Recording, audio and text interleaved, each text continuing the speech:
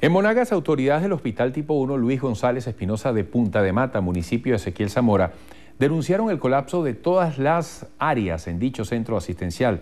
Aseguraron que carecen de especialistas e insumos. Betsy Betancourt con la información.